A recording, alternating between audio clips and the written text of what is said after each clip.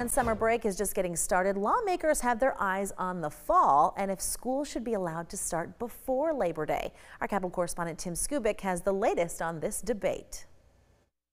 Here's a story that affects virtually every school family in the state. Years ago, the tourism lobby, after years of attempting it, finally got lawmakers to adopt a law in 2005 ordering local schools to open after Labor Day. And ever since then, the education lobby has been fighting back to give local schools the power to make that decision on opening day.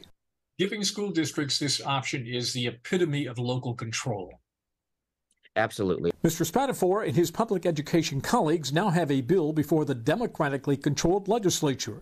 It would eradicate the tourism law and give local school boards that option to open before Labor Day if they want. The tourism industry, meanwhile, is fighting back, hoping to give parents more summertime to vacation with their kids.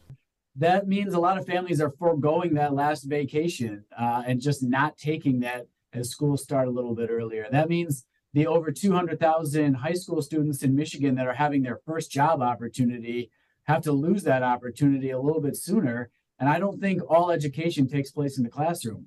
To which Mr. Spadafore retorts, I would argue that um, it might not be popular, but I do believe that the education of our children is probably a little bit more uh, higher on my my concern list than than vacations. I don't disagree with that, but show me some evidence that suggests starting before Labor Day is the best pathway to do that. Mr. Winslow, however, is offering a compromise: close the schools on every Monday and Friday during August, and he hopes the House Education Committee, when it meets next week, will approve that compromise.